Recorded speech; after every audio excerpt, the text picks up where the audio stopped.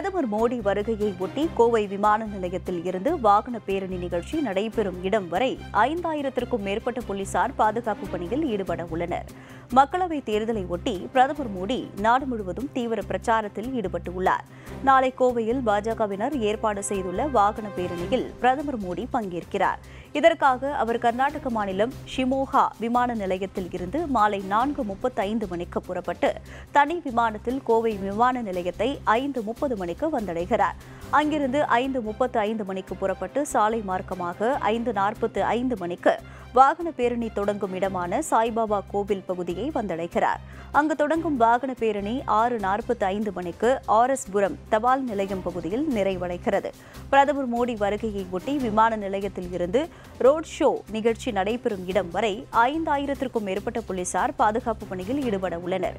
மேலும் மாநகர் முழுவதும் பிரதமரின் சிறப்பு பாதுகாப்பு படையினர் தீவிர கண்காணிப்பில் ஈடுபட்டு வருகின்றனர்.